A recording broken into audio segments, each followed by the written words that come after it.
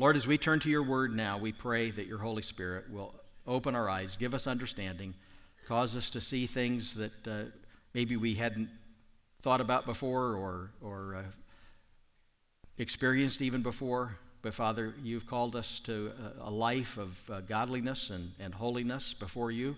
So equip us and enable us to do that. In Jesus' name, amen. Well, it was a couple of weeks ago in uh, Sutherland, Texas, that First Baptist Church was changed forever. And in what was an absolutely unspeakable act of violence, uh, 26 lives were senselessly taken, and almost that many people were wounded. You know, one of the worst things about social media is the ability for people to step into real life circumstances and act as if it's somehow some abstract, not real.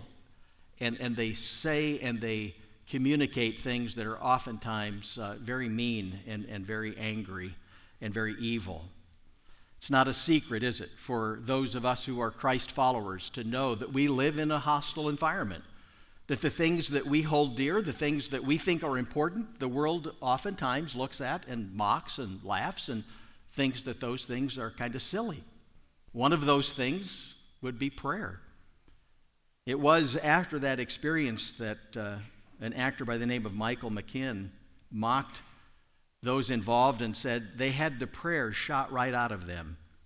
Maybe they should try something else. Actor Wil Wheaton said, If prayers did anything, they'd still be alive. I don't know either of those guys. I have no idea what their hearts are. I don't have any idea what their motivations were in saying those things. Maybe they regretted it as soon as they posted it.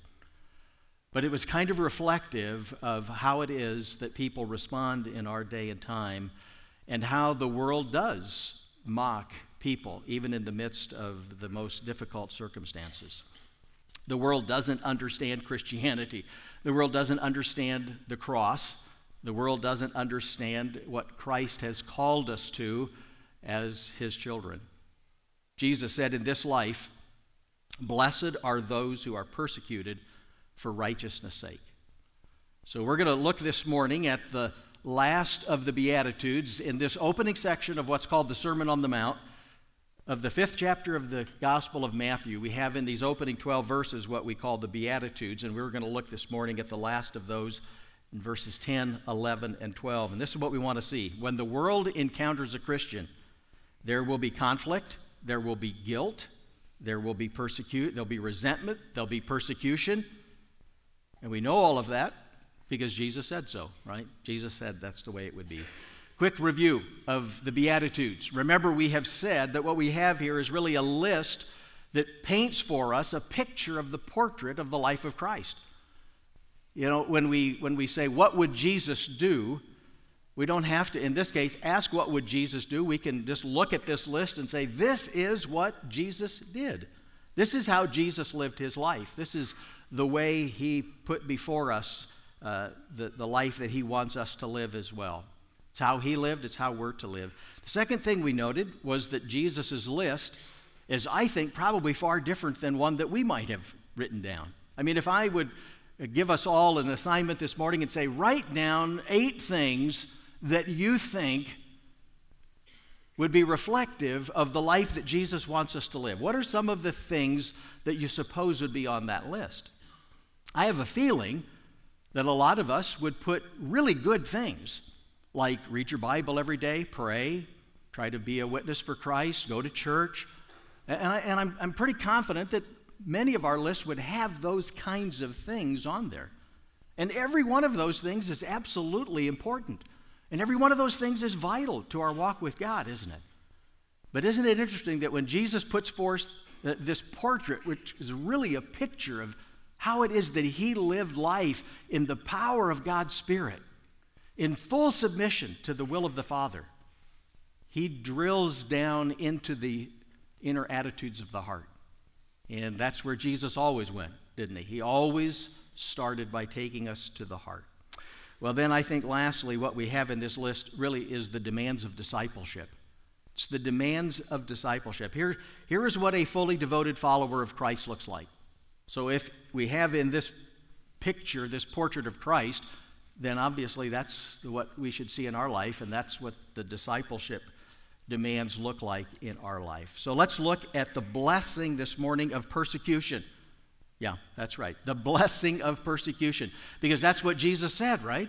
Jesus said, Blessed are those who are persecuted. Can I start off with something of a personal disclaimer? When I was thinking this week about this particular study, and as I was thinking about the previous seven Beatitudes, I, I had to just acknowledge in my heart that this one is, in many respects, the most difficult for me to relate to. I mean, here we are. We live in the land uh, that God has blessed with the greatest freedoms possible. All of my coworkers are wonderful people. I don't have daily battles, as some of you do, with maybe somebody who's totally hostile to your faith. I don't have to worry about somebody, you know, attacking me in that way in, in the workplace. Uh, and so as I, as I was working through this, I thought, you know, this is really, in many respects, one of the Beatitudes that probably I connect with the least. Doesn't mean I haven't had experiences in which it felt like this was happening to me. But in terms of just day to day, week to week, month to month, my life has been incredibly blessed. I think that may be true for many of you, not all of you, but the other part of that is we don't want to relax. We don't want to put down our guard and say, yeah, man, my life is so good. These must apply to somebody somewhere. Because I do believe that as we see what's happening in our culture and society, the day is coming upon us in which more and more of us are going to experience the very things that Jesus talks about in these verses. And it's happening with greater frequency, and we could point to any number of illustrations, but I believe that is the day that we are facing as we move forward. So let's start off. Blessed are those who are persecuted. Let's, let's start off by talking first about, about what false ideas does this beatitude dispel? What is Jesus wanting us to realize is not true because he spoke the words that he did? Well, first of all, Jesus has promised deliverance from all suffering. That's simply false, isn't it? He dispels that myth right here. These verses don't make it in the top 10 of uh, prosperity gospel preachers' list of favorite passages. I don't know that any of those guys ever go to Matthew 5, 10, 11, and 12. It doesn't fit exactly with what they're teaching, does it? Uh, this isn't talking about the best life that you've got coming. This is, in fact, talking about a really bad life that may come your way. A lot of persecution, a lot of slander, a lot of uh, people reviling you. So, Jesus is not promising us deliverance from suffering as his follower. Secondly, suffering is a sign of God's displeasure or sin. Jesus does away with that idea too, doesn't he? If you are experiencing some of these things, if you are suffering, if there is a, a, a hard place in your life, it's not necessarily to be understood that it is because of God's displeasure in your life or because of sin. It's easy to go there, isn't it? It's easy to think when bad things happen to us that maybe I've done something wrong, and there's nothing wrong with self examination. But Jesus certainly says to us here those followers of His who are what? Those who are living out these Beatitudes. Those who are pure in heart, those who are merciful, those who are totally dependent on God, they're the ones who may very well be experiencing these things. Thirdly, suffering can separate us from the love of Christ. Jesus dispels that thought because quite the opposite is promised. He says, in fact, if we are persecuted, we should, in fact, be expecting that we're going to inherit, inherit the kingdom of God. So he has wonderful things to say for those who, in fact, do suffer. Paul said in Romans 8:35, "What is it that can separate us from the love of God?" And he lists out, can tribulation or can, can suffering or can persecution or no. He said, in all these things, we're more than conquerors. And then, fourth, suffering is for a few, it's for those special saints. Well, no, what Jesus says this morning is a part of the normal Christian experience. This is something that is true of every follower of Christ. These things can be expected of anyone who follows Christ. So let's then ask the question what is the reason for this persecution? What is the reason for the persecution? And Before we look at that, I want to just say a word about this word persecution because we see it in verse 10, we see it in verse 11, and we see it in verse 12. So, in three verses, three times, Jesus talks about this. This word persecution or persecute here literally could be understood to pursue somebody, to chase after them. And, and obviously, in the context and the way this word is used, it's to pursue them and to chase after them with the idea of doing them harm. So that's kind of the visual picture of the word that Jesus uses here. To harass, to cause someone suffering is the word that he has chosen. It is in what is called the perfect passive. And the reason that's important is simply this the perfect speaks of something that's happened in the past with continuing results. The passive speaks of something that's happening to you. So we could literally read this verse this way Blessed are those who have been willing and continue to be willing to be persecuted. So, blessed are those who have been willing and who continue to be willing to be persecuted, is what Jesus says to us. So, the question before us is then why is it that we are experiencing this adversity? And Jesus tells us. I want to start off again by saying what it's not, okay? I want to start off by saying these are not the reasons why we should be persecuted. The first one would be it's not for being offensive, it's not for being obnoxious, it's not for being rude as a Christ follower, all right? Those should not be the reasons why we are persecuted. It shouldn't be because we're a poor worker at work. And, and, and because we're a poor worker, we don't get a promotion or we don't get a raise or we get demoted.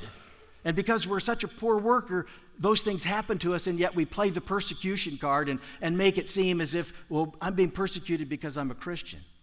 Some Christians, frankly, are just obnoxious, aren't they? And, and when they're obnoxious and they experience bad things, they shouldn't say, Well, I know why this is happening to me because I'm a Christian. It may not have anything to do with you being a Christian. It might have to do with you just being obnoxious and, and offensive and rude, right? Any of those things could happen. So, what Jesus says, I think, in effect to us is the message of the cross and the message of Christianity. Yes, that's offensive. People don't like to be told that they have sinned and fallen short of the glory of God. They don't like to be told that there isn't anything that they can do to earn salvation. The cross is offensive, but the message, while it is offensive, the messenger should not be offensive. We don't need to be offensive as we bring that message. In fact, we should be anything but that, right? So Jesus isn't saying, Blessed are you when you're persecuted for being obnoxious, offensive, and rude. Okay, so let's put that one aside. He secondly isn't saying, Blessed are those who are persecuted for doing wrong. For doing wrong. I, there must be something that we need to take note of here because Peter mentions this on a couple of occasions. This idea that persecution coming into our life should never come our way because we're in fact doing things that are wrong suffering for doing wrong.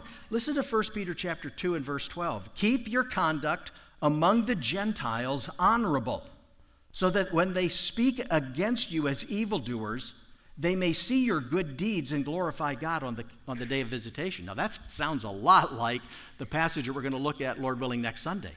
And we're, we're not surprised by that, are we?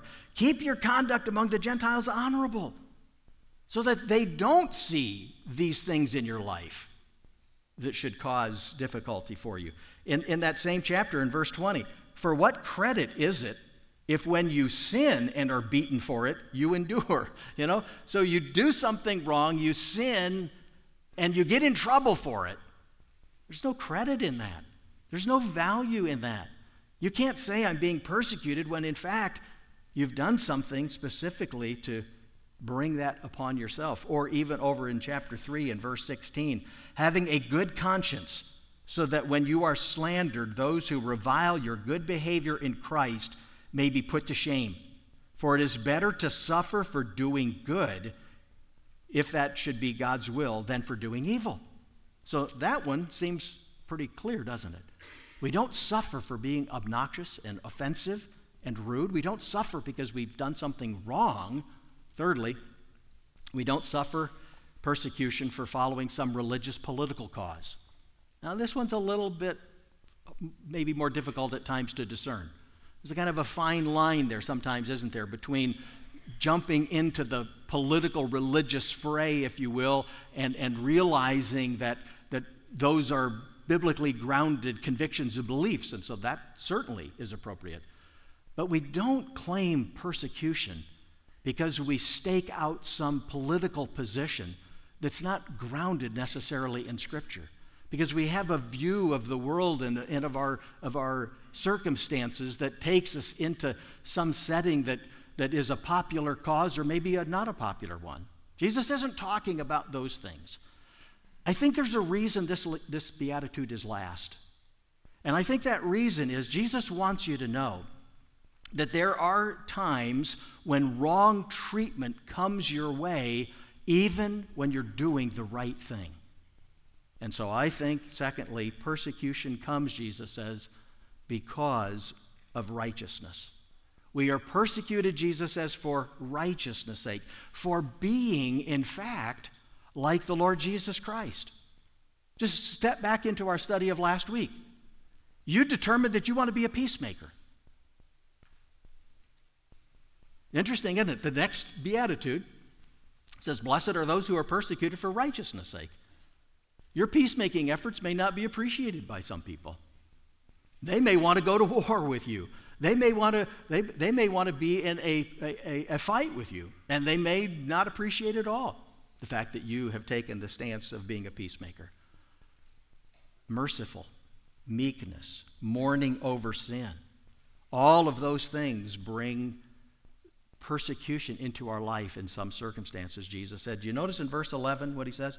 Blessed are you when others revile you, when they persecute you, when they utter all kinds of false things against you. He doesn't say if these things happen, does he?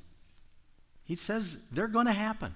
When these things happen, you determined by God's grace to live your life as Jesus lived his life. You determined by God's grace and by the, the enabling work of the Holy Spirit in your life to live out these Beatitudes. And Jesus' promise to you is in doing that, you should be prepared to be hated. You should be prepared to be despised. You should be prepared to be rejected for living the Christ life, for following after Christ in the way that you do. Listen to what the rest of Scripture says about this very thing. Paul speaks to this in 2 Timothy chapter 3 and verse 12. He says this Indeed, all who des- desire to live a godly life in Christ Jesus will be persecuted. That's pretty plain, isn't it? You desire to live a godly life, you're going to be persecuted. There's going to be opposition to that life that you're choosing to live. Or how about if you go over to 1 Thessalonians chapter 3 and verse 3? That no one be moved by these afflictions, for you yourselves know that we are destined for this. Wow. We're destined for this. To face persecution, opposition, hostility, rejection in this life because you're living out the life of Christ, that's our destiny. It's to be expected, in other words, right? Go uh, another few pages back to Philippians chapter 129. For it has been granted to you that for the sake of Christ you should not only believe in him, but also suffer for his sake.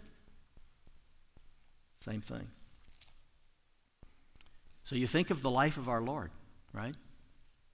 Here's this picture, this portrait of Jesus. This is how he lived his life.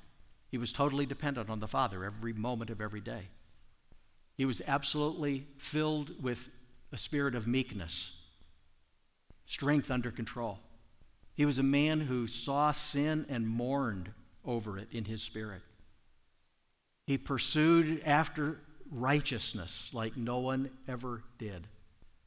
He was a man who was compassionate and merciful and kind. And look at the world's response to him. Jesus tells us why that is so in John chapter 15. Listen to what it says in verse 18.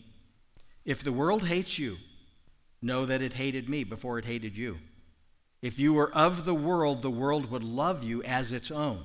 But because you are not of the world, but I chose you out of the world, therefore the world hates you.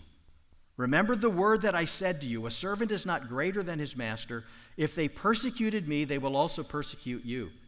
If they kept my word, they will also keep yours. But all these things they will do to you on account of my name. Do you realize that there's no reason in the world for any Christ follower who's at all familiar with the Bible to realize that God has called us by his Son Jesus into a life in which the world is going to stand in opposition to us at every turn. In which the world is going to see what we are attempting to do by way of living out a life of righteousness and not hate us for that not revile us for that, not persecute us for that, not turn against us for that. He's told us as much, hasn't he? He's also told us, in effect, in John 15, if you don't want any of that to happen to you, it's real simple. You just live like the world, right? You just talk like the world. You just act like the world. You laugh at the things that the world laughs at. You enjoy the entertainment that the, that the world enjoys. You fit into what would normally for a Christian be an uncomfortable circumstance and you just remain quiet. Something untoward is going on, you say nothing. Something unethical is happening, you just keep your mouth shut. That's exactly what Jesus says in John 15. If you don't want to experience this, then it's really simple. As a follower of Christ, you just remain oblivious to the differences that should exist between you and the world. And you live as much like the world as you possibly can. And if you do that, if you don't stand for righteousness, you'll never have to worry about persecution. You remember back in March when Vice President Pence, in the course of just a simple interview, made some comment about having a personal conviction in which he did not eat or go out to dinner or lunch or whatever with a woman other than his wife alone. And you remember the response of the world? And I'll just use that in a broad category. It was predictable and it was vicious and it was amazing how the world reacted to a man who said, I have a basic conviction that I don't want to put myself in a place where I could be compromised for any reason. And I just went back and Googled some of the stories that were written. One person said, This is hurtful for the vice president to have this position. This hurts women. This is an insult to men and to women. And, and the, the, the tone and tenor of these responses, of the vitriol and the name calling and the mockery that he underwent, was just crazy in response to that. And then what? And then along comes Harvey Weinstein. And along comes the blowing off of the lid in this country of all kinds of behavior that has been going on unnoticed, if you will, and unchecked in the general populace. And I ask you a simple question Who do you want your wife, your sister, your daughter hanging out with? A man who says, I can promise you this I'll never be alone with her in a compromising place. There'll be somebody with us. Or do you want her subjected to the behavior of a man like Harvey Weinstein? And unfortunately, we're learning a host of all other kinds of men. And you know, it grieves my heart this morning to realize that there are probably in the lives of many of you ladies things that may not have risen to the level of what we're hearing, but things that kind of fall into that general category. And here is Jesus, and he's saying to us, as a follower of Christ, it's not a matter of if this is ever going to happen to you. You should be equipping yourself in such a way that when this in fact happens, you have already decided ahead of time what you're going to do. And you're going to trade Christ for comfort. And you're going to trade Christ for security. And you're going to trade Christ for success. And you're going to trade Christ for popularity. You're going to just take Christ for whatever the other choice is out there. Because that's exactly what Jesus has called us to. He's called us to live a life of righteousness. And that life, he says, is going to invite into your life the disrespect and the mockery of the world because they can't figure you out. They don't know what makes you tick. They don't understand why you value things that you can't even see. You talk about a God that, they, that, that they can't comprehend, a work on a cross 2,000 years ago that changed your life forever. Praying and believing that it works. So Jesus says, You will be persecuted. And he tells us what that's going to look like. What's the nature of this persecution? He, he, uses three words to tell us what it is that we can expect. He says, first of all, you will be reviled. And that speaks of verbal abuse primarily. It's a, it's, it's a, it's a verbal assault, disgrace, blaming, mocking, insulting. You know, we have that, that, that statement that's totally false that says, Sticks and stones may break my bones, but words will never hurt me. And it's true that sticks and stones can break bones, but it is not true that words don't hurt. Because words have a way, don't they, of cutting us right to the quick of, of our heart and soul. So Jesus says that's one of the things that you can expect. You can expect people are going to revile you, they're going to be verbally abusive to you because you're a Christ follower. He says they're going to persecute you. It's the word that we already have mentioned. This idea of people running after you, of people pursuing you with the intent to harm you. And clearly, this includes, it's not limited to, but it includes all the way to persecution by death. So it's this physical continuum of everything from imprisonment and, and beatings and, and, and deprivation physically, all the way to martyrdom. And you know that this generation, this century that we find ourselves living in, in the, tw- the 20th and the 21st century, there have been more Christians martyred for their faith than all of the others combined.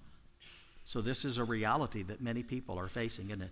And then he says, thirdly, they will slander you.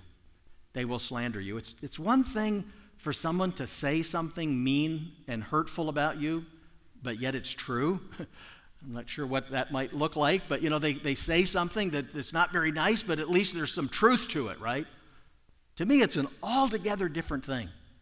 When somebody just flat out makes up something that is without any basis in fact, and they attribute that to you, or they say that about you. And that's what Jesus is saying here. That's what it means to slander. Say something that is false, to accuse somebody of something that they never did, that they never said. Now, let me just make two quick observations before we go on. As you think about what Jesus has said, first observation is this these verses are not saying that you're going to be persecuted every day and for everything, all right? That's not what Jesus is saying. That wasn't true in Jesus' life. That wasn't true in the life of the disciples and those who have followed after him. So it's not that this is necessarily 24 7. Now, obviously, we can go through some really difficult times and hard circumstances. But he is saying here that if you live a godly life, you live a life that's characterized by righteousness, these things are going to happen to you. They will provoke a response from the world that involves conflict and pushback and resentment and reviling and persecution and slander. And then, second observation some level of persecution may even come from religious people. Jesus experienced that, didn't he? It was certainly true in his experience. His followers did as well. You read the book of Acts, much of the opposition came from supposedly religious people. Even today, you can gather a large group of people who will gladly rally around broad, general religious themes, right?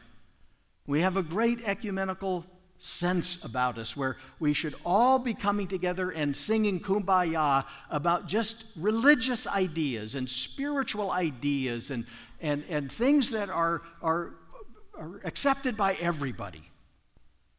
But of course, when you start talking specifics about what the Bible teaches, what the Bible says about Jesus as the Son of God, the only way to the Father, the idea that he actually died on a cross in substitution and payment for sin. You know, and you get into the, to, to the, the meat of the truth of the gospel. Well, then, of course, that unity dissipates in a hurry. And people will have all kinds of opinions about you and your beliefs and your convictions. And so this isn't exclusive in that sense to just the world. It is also true sometimes even of those within the religious circles as well. So, what do we do with this? Notice, fourthly, point D what's the proper response to persecution? I'm confident that if you're a Christ follower for very long, you have experienced something in your life that fits on this continuum of being reviled, persecuted, or slandered. It may not rise to the level of what many have experienced down through church history, but all of us know what it is to be laughed at, to be mocked, to have people say things about us because of the fact that we're following Christ. So then Jesus addresses what we're to do in response to this. And this is where it gets really hard, okay? We thought that first part was hard. Look, look what he says here. How do we respond to this? Verse 12, he says, You are to rejoice and be glad. So when these things happen to you, you are to rejoice and be glad. So he starts off and says, We're commanded to rejoice. This is a command, this is a present imperative. This means that we are to continuously be glad and rejoice. It's a command and it's present tense. In fact, we are to be, he says, exceedingly glad. Now, if this all sounds difficult, listen to what he says in the companion passage in Luke chapter 6 and verse 23. Rejoice in that day, all right? In, in that day when, when people hate you, when they exclude you, when they revile you, when they spurn your name as evil on the count of the Son of Man, Jesus says, verse 23, rejoice in that day and leap for joy. For behold, your reward is great in heaven.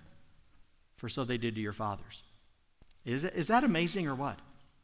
Not just be glad, not just be exceedingly glad, but Jesus actually says, leap for joy when you face that kind of circumstance. Now, that is not exactly what I thought would be a good response in the face of persecution. I mean, most naturally, we would want to retaliate, wouldn't we? Somebody says something about us that's not true, that's unkind, doesn't mean you can't bring evidence against that.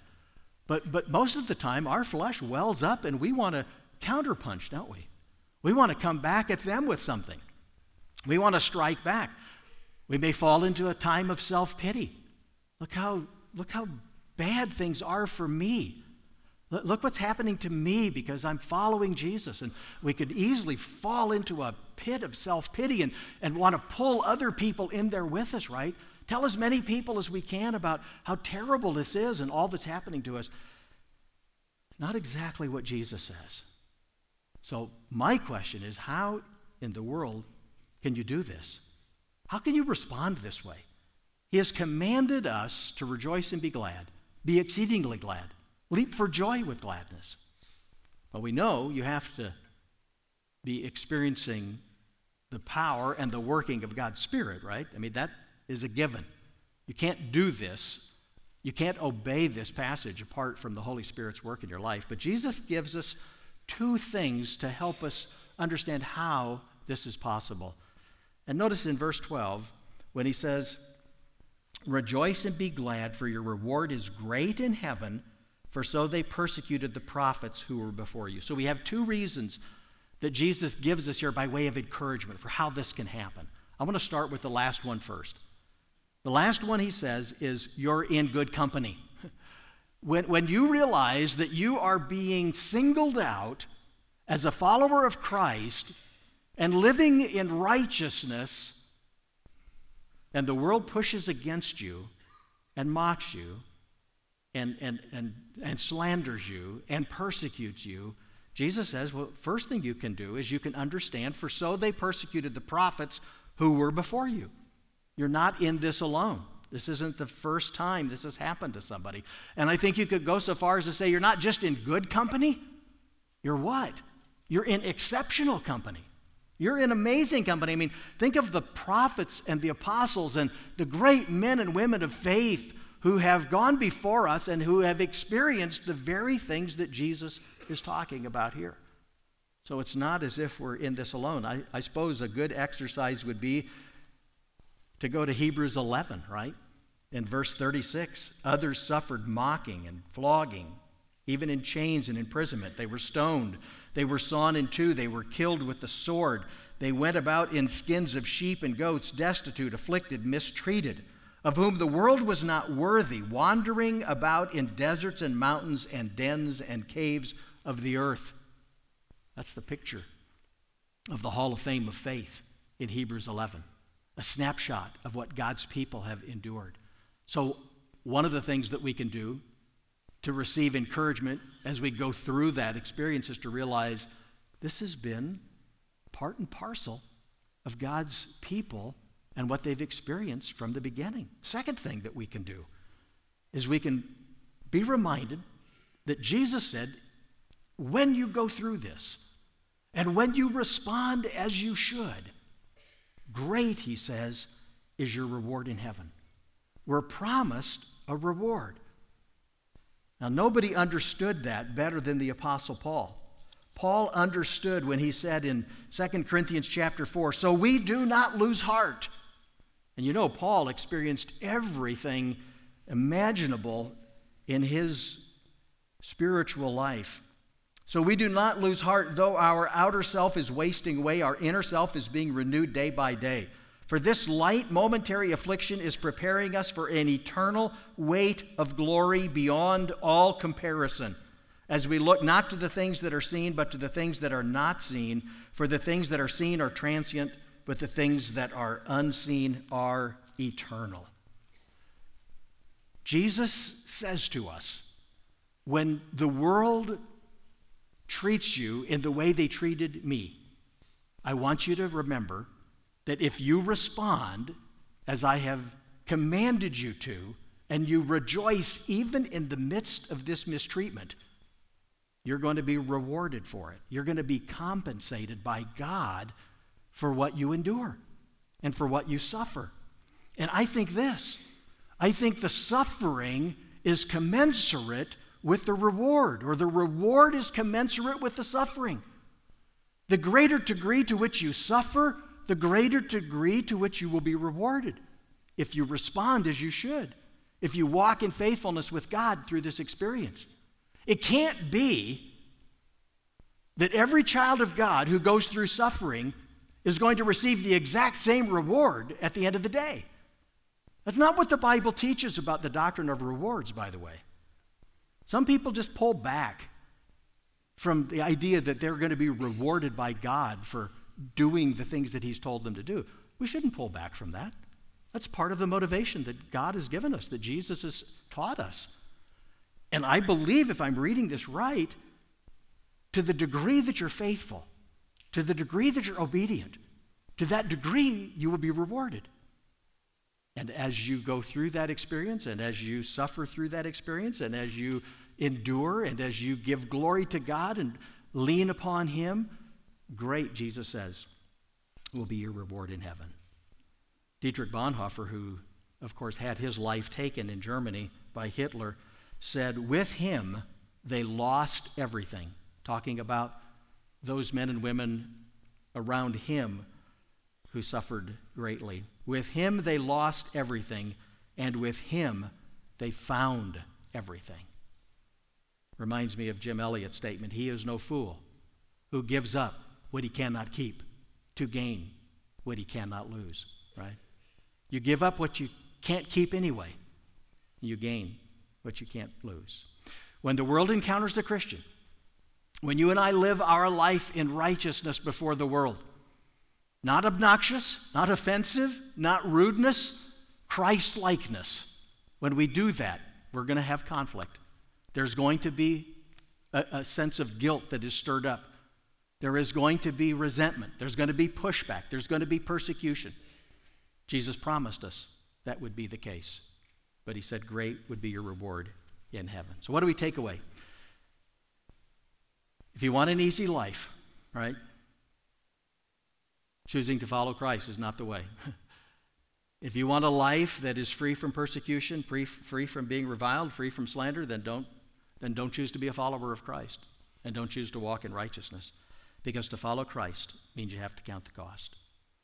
Jesus did that for us, didn't he? He counted the cost for us when he went to, went to the cross. And it cost him his life as he died in payment for our sin, allowing us the wonderful opportunity of putting our faith and trust in Him alone and receiving the gift that's eternal life.